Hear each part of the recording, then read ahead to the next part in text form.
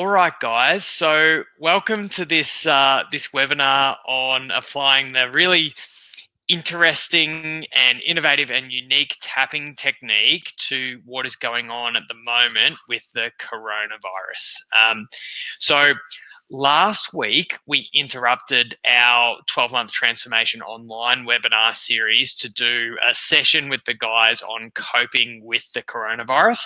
So, if you haven't seen that, uh, please check it out. Um, M, if she can, will provide the um, will provide the link to that um, that webinar. But it's it's the, the it's entitled "Coping with COVID nineteen on the Weight Management Psychology website. Um, and so this webinar is really for uh, for people who know about the tapping technique. So you guys obviously are our 12 month transformation face to face guys. So we've already done some tapping. You already know about the tapping technique, and we've already applied the tapping technique to food cravings. Um, so we are going to make this video available for anyone. So if you already know about tapping and you're watching this, just tap along with us. Or if you don't know anything about tapping, uh, M might provide another link that can help you understand a little bit about the tapping technique and how to apply it to a food craving. If M can't get that that one up for you guys, it's simply weightmanagementpsychology.com.au slash tap away thinsanity. So that if you if you're watching this later um, and you don't really know too much about the tapping technique, that'll help you get all schooled up with what you need to know. So obviously the coronavirus is probably the biggest thing in all of our spaces right now.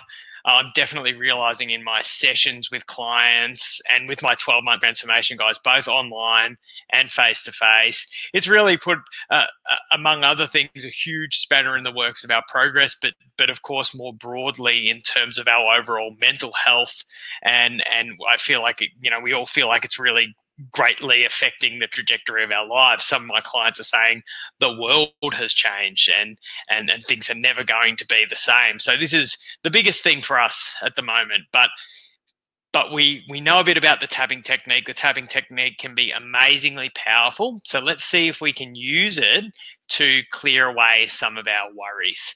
So I'm going to be relying on on you guys to be giving me some of the worries that you're having around this epidemic, this pandemic. Um, and then we're going to see if we can can tap through them. So I'm just going to be checking off to the side and seeing what you guys are coming up with. And of course, I'll probably be adding some of my own concerns along the way because I think that um, not the right choice of words, but but none of us are immune to to, to the effects of, of this virus. So please, in the comments start to let me know what's going on for you. What would you like to clear away with the tapping technique? And then we're going to get to start uh, start tapping.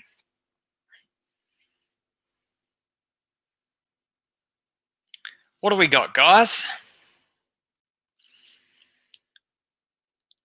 I might get started uh, and and and I'm just going to periodically just check over and see what uh, what's going on for you guys. So we start off on the karate chop point, and please, guys, tap with me. And I'm just going to go with with what's going on for me at the moment. Even though I'm feeling really unsettled by the coronavirus, I love and accept myself even though I'm feeling really uncertain about the way things are, are going to go, I completely love and accept myself. Even though I'm concerned about not only my own health and well being, but that of my friends and family, and the impact this is going to have on my business and my clients, I love and accept myself.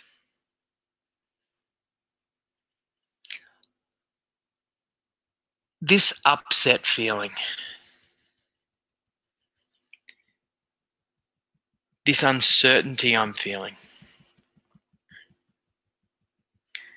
this anxiety, all of this stress,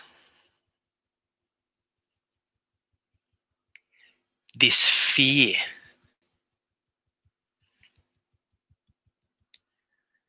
What's going to happen?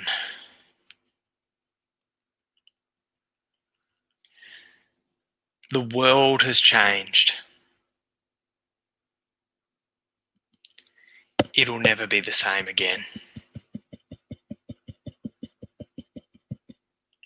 Take a breath. So that's a nice general round of tapping to to start us off. Um, I'd like you guys to, to, to let me know what's going on for you, and then also as we do with that SUD scale, I want you to rate where you are on that that SUD scale. So how intense is that feeling? So we can we can rate it at the start, and let's see if we can get a bit of movement. And I'm just going to speaking of movement.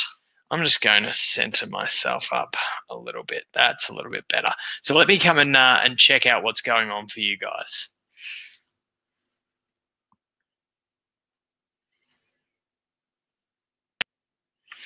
Okay, we're going to start with Barbara just about the the uncertainty. And, and, Barbara, feel free to add anything that's going on for you into the comments as well. This uncertainty this uncertainty I'm feeling. And remember, when we're tapping, we're not trying to distract ourselves from the feeling. We're actually trying to be mindful of it and to acknowledge the reality of it. So if you're feeling any uncertainty, let's get involved in it. This uncertainty. Can't plan for anything. Soon as I make a plan, the plans change. Everything's shifting by the day. Everything feels like it's shifting by the hour. Everything feels like it's shifting by the minute. And take a breath.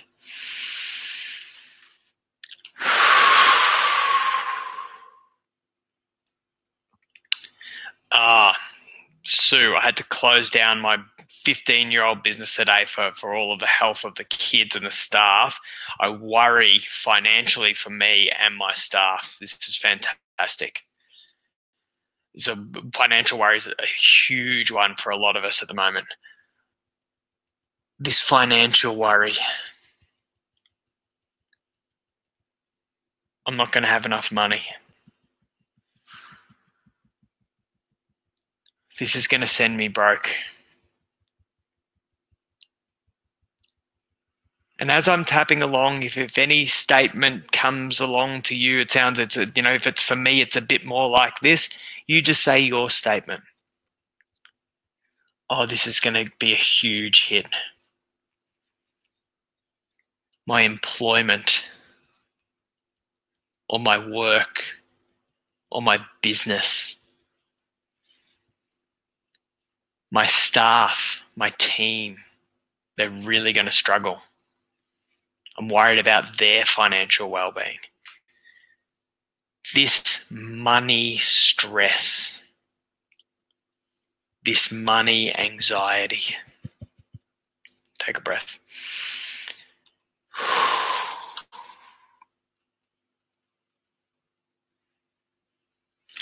Belinda, my frustration that work is still making us work in the office despite the fact that we can work from home and people just not taking it seriously. I think that, that's a wonderful thing to tap on.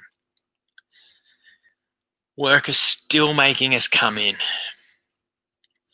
We can work from home. Why aren't they making sensible decisions?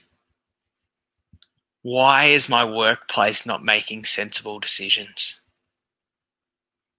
Why is the government making stupid decisions? Why are people being stupid?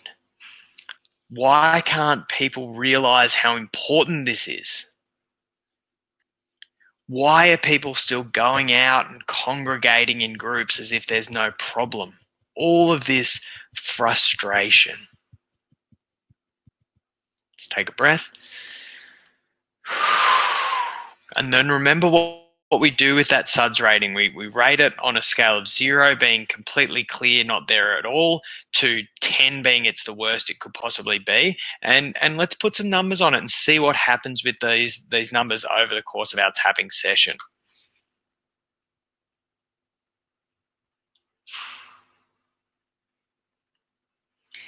Emma feeling guilty being on honeymoon and not helping at work.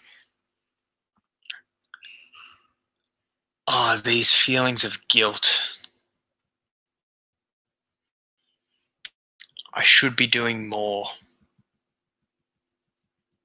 I should be at work. I should be helping out at work more. I should be being more productive. Part of me knows that this is such a strange time, but part of me still feels like I should do what I always do. Part of me feels like this virus is just stuffing up my plans and my goals. These guilty feelings that I'm feeling. All of these guilty feelings in my brain and in my body.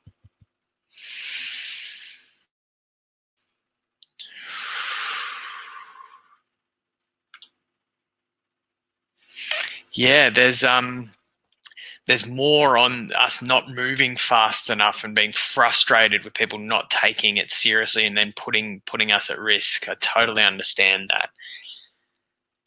We're not fast enough as a nation. We're not doing everything we need to be doing. All this frustration at other people. They're so nonchalant. They don't care they don't realize it's a problem. They're idiots. They're putting me at risk. They're putting my health at risk, my life at risk. They're putting my livelihood at risk. They're putting other people at risk. They're putting my parents at risk. They're putting the elderly at risk. They're putting the vulnerable at, at risk. This frustration and this anger. Take a breath.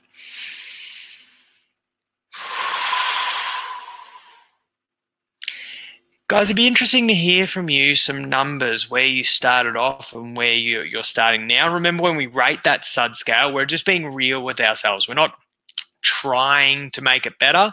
If it goes down, that's great. If it stays the same, we've just got to keep on digging around to find that piece of the puzzle that might be one of those core aspects for us. Um, and if it goes up, that's just fine too. It probably means we're identifying a, piece of the puzzle and bringing that to the surface that was there, but we're just becoming more aware of it.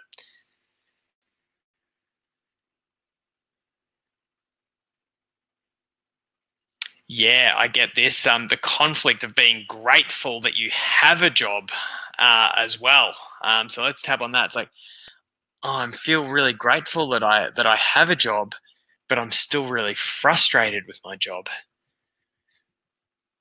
These conflicted feelings, very normal at times like to feel mixed emotions or conflicting feelings.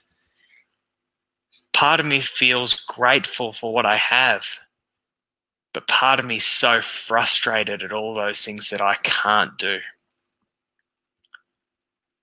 Part of me has a perspective and I'm able to, to see what I have and the good things part of me so focused on all the bad things. All of these mixed feelings, all of this confusion in my emotions. Don't really know how to feel.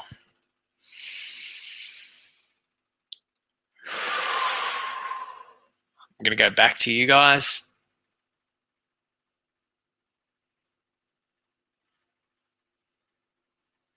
A good one, Deborah. The availability of food choices making me feel less confident. So let's tap on that.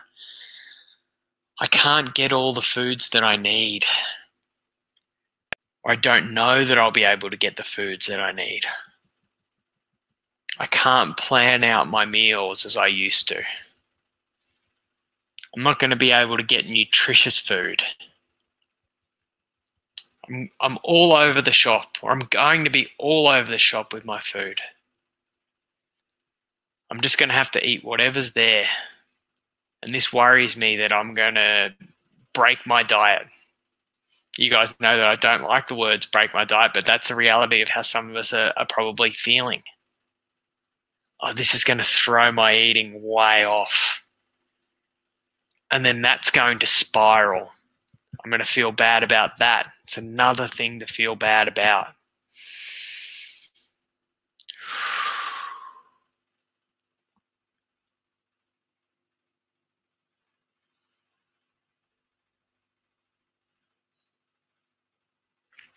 Fantastic one, Narelle. How am I going to cope with managing my two boys at home, trying to get them to do schoolwork? Oh, how am I going to cope with the kids at home? I'm not a trained teacher. How am I going to get these kids to do their work? Part of me may feel like they need to be home. But another part of me is just stressed at how I'm going to manage all of that and how I'm going to manage all of that in amongst all of my other commitments. While part of me might see it as the right thing to do, another part of me is very concerned about it, frustrated and unsure as to how it's all going to work. This difficulty in balancing kids being at home. Take a breath.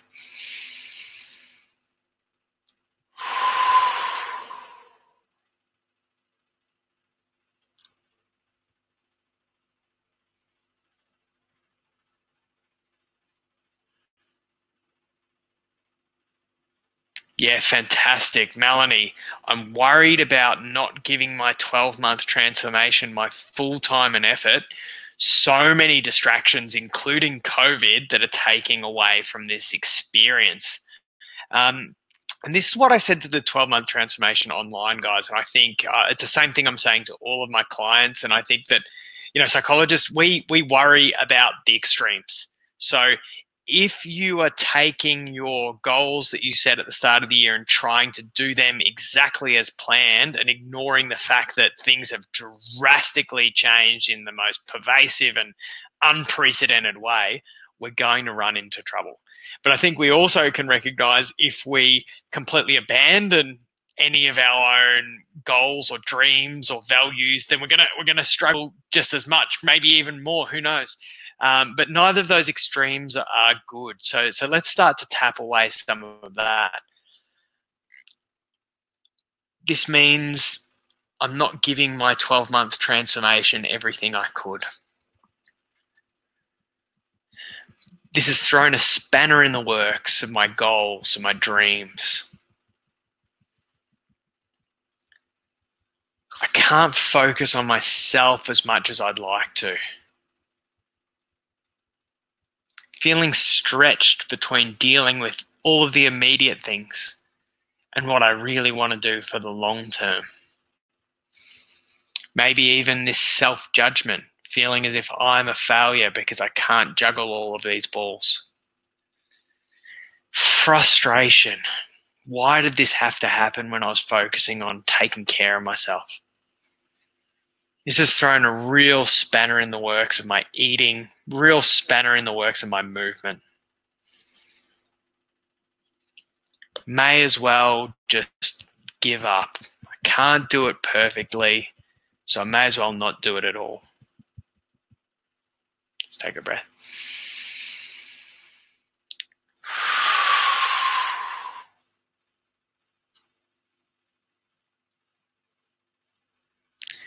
Okay, Narelle said I started on eight, still there. So Narelle, see if you can think of anything um, that, that, you know, I always ask the question, why am I an eight and not a zero? And let's see if we can get into a bit more of that and see if we can get that number down. Um, Deborah said um, the SUD, SUD, the SUDS, the the the um, subjective unit of discomfort scale was an eight uh, for food uh, food cravings, I'm assuming, and then uh, it's it's dropped down to a six.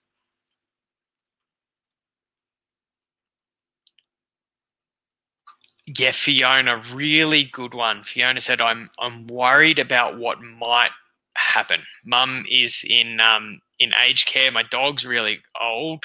what if I can't find a vet if I want one or I, I need one? Let's tap on that. I'm worried about what might happen. I'm really worried about my my elderly mum. Or just I'm really worried about my mum.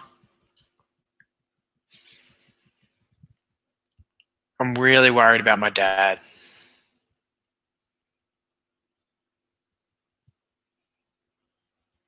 I'm really worried about someone who might be at high risk.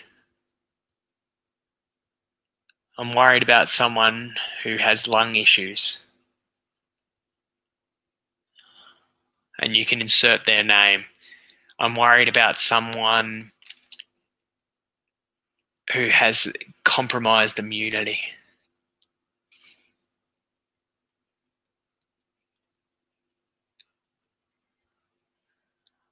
I'm worried about people in general.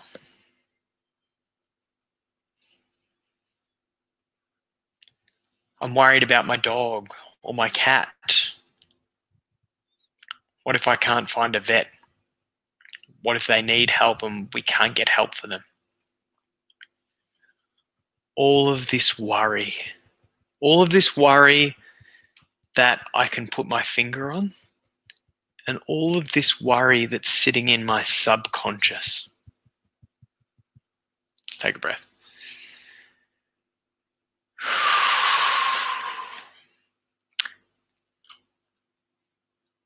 Okay, guys, keen to hear your thoughts on how you're feeling now, what's going on, what other concerns or worries or doubts that, that you have. Or even for you, if you want to revisit an area that you've been tapping on and start to, to sort of dig around and see if there are any other aspects, any other pieces of the puzzle of that, that issue for you. Or anything you want to just um, just do another round on. I'm just going to go and check and see if there's anything here.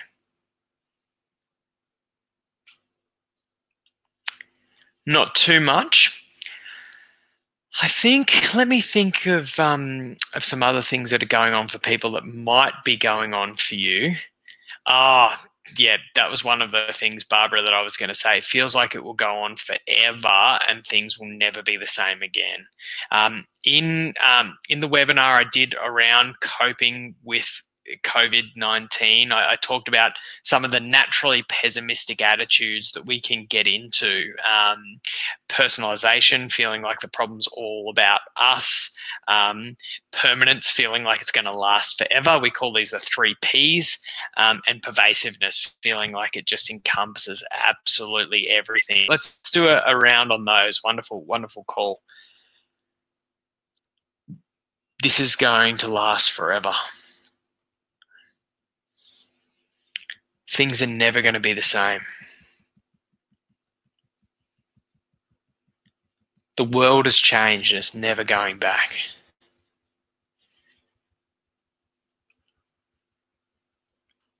And why do bad things always happen when I'm trying to get ahead? Why do bad things always happen to me? This is just another in the long line of bad things. And this is everywhere. This is pervasive. It's in my mind. It's affecting my work. It's affecting my relationships. It's affecting the country. It's affecting the economy. It's affecting everything. This is a bad thing that's happened to me. The world is not going to go back to the same. This is just going to, to go on forever and this is affecting every single area of my life. Just take a breath. And of course, um, I think those feelings are very, very normal when bad things happen. Um, and I think this this virus and the, the impact it's having on the world does seem pervasive. It feels like there's no area of our lives that it's not touching. But as you know, sometimes as what happens when we we tap through and we clear away some of those um, those uh, blockages or um, we let go of some baggage through the tapping technique. Sometimes uh, naturally positive thoughts just seem to pop up once we we clear away those things, and it's it sort of struck me that while it might seem pervasive. Um, there are areas of our lives that it doesn't necessarily touch. And for me, I think one area that it doesn't necessarily have to touch in a negative way is our spirituality. Um, or you might think of that as um, some psychologists think of that as our, our connection with our values, what matters to us, um, our empathy, um, and and and our connection w- with other people, which might sound funny, even uh, a time of, of social distancing. Uh, but I think that is one area as a psychologist that I believe we have control of is how we respond to this. Um, not saying that you know we're not going to feel bad. That's what we're doing this whole tapping session on.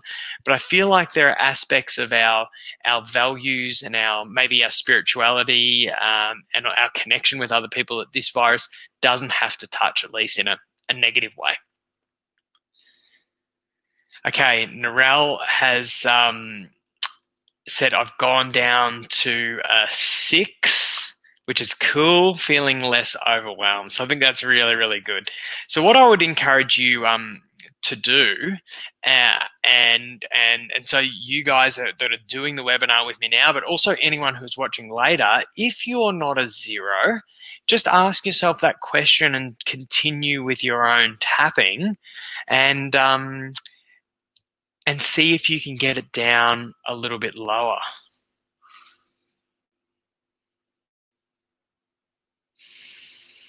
Interesting. Karen asked a question How do I know what I can control in this? There's so much that isn't in our control. Um, and and so what I might do is I tap on all of those things that you you can't control and tap away not your knowledge of those, but tap away the worries of those, and you might find that there actually becomes a lot that's in control. So let's let's tap on that now and see what happens. So much I can't control. I can't control where I work. I can't control if I'm going to be able to go to work tomorrow. Can't control what the government says. I can't control the rules, those ever changing rules that the government's setting.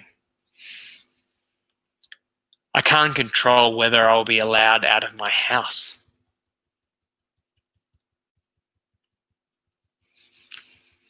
I can't control what's going to happen to the economy. I can't control that they've shut down events and gyms and non essential services. I can't control any of that. All of these things that I can't control. This ever growing list seems to be getting bigger and bigger of all these things I can't control. Take a breath. So, that is a one way that you can use the tapping technique to help you with clarity um, so after clearing away some of your barriers, and it'd be interesting to hear, Karen, hopefully some things that um, that you can control either popped up, or if you want to do another round or two of tapping, once you can clear that focus on the things you can't control. Um, then, then you, it might help you with um, with just just being able to think and and identify some things that you can control.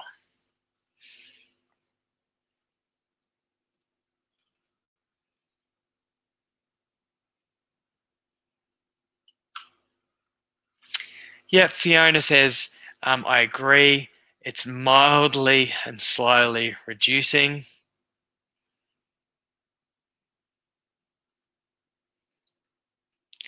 Sue says, I'm concerned that I should be feeling more devastation. It's just not sinking in. Um, and then I'll be left looking stupid and unprepared because I haven't prepared enough. I think that that's an, a really interesting point because Sometimes people worry about tapping away worries and concerns, but the tapping technique won't clear away any helpful responses. We can actually use the tapping technique um, to, to clear any negative thoughts that might get in the way of us taking action. So, so if you're thinking, look, I should be feeling more devastation, I should be more concerned, let's tap on the other side of things uh, because absolutely this tapping technique is to help you calm yourself down, to focus on what you can control, and to take better care of yourselves. Um, but absolutely, it's not to tap away any legitimate worries or to prevent you from doing anything that um, that's really important for you to do. So let's tap away some of those feelings that I'm sure we've all felt at different stages, at the very least, that kind of nonchalance. Oh, it's not that big a deal. It's just going to pass. Won't be that big a deal. People are making too much of an issue out of this. I know the rules, but sometimes I think I know a bit better. I know that I should wash my hands regularly, but sometimes I'll just forget, and that's okay. I know that I have to keep a social distance. I have to stay at home. I have to stay 1.5 meters away from people. But if I have to walk past someone, that's not a big deal. If I have to go out and do something I really need to do, then I'll just do it and risk it. The risk is really low. Part of me feels like I'm not worried enough about this kind of feel like it hasn't sunk in how important this is.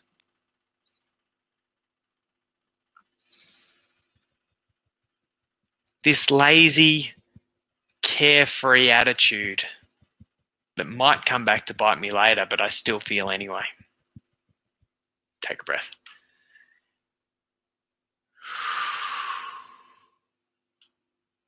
Okay, guys, how are we feeling now?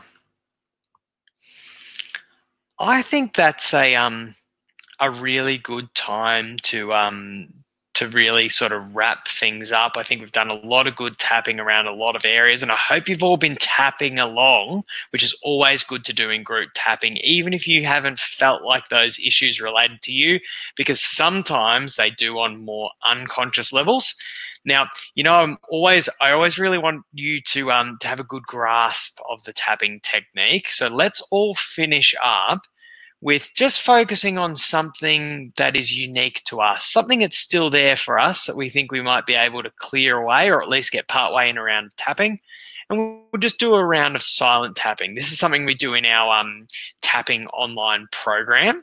Uh, in the, the more advanced modules, as you start to get to learn tapping, we work on all of the different issues, whether it's about physical movement or body image or whatever the issue is. And then as we get more advanced, we start to do some of our own silent tapping. So you can just tap away with whatever issue relates to you. So try and think of something that's still there for you. Um, and if you um, if you want to at any stage, let me know your SUD scale and where it's going. And let's do one final round of silent tapping. Although I'm going to be silent, you I think it's a really good idea to verbalize the statements. Verbalizing a statement is a really powerful way to focus on them.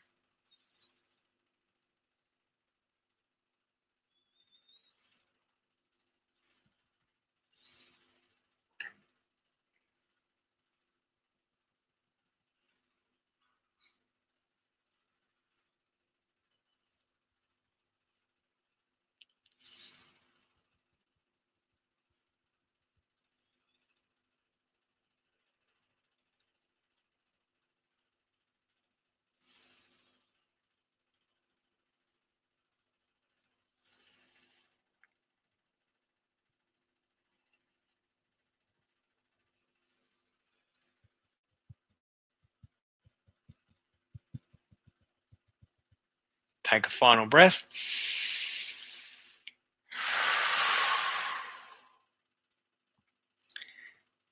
Guys, really, really good job.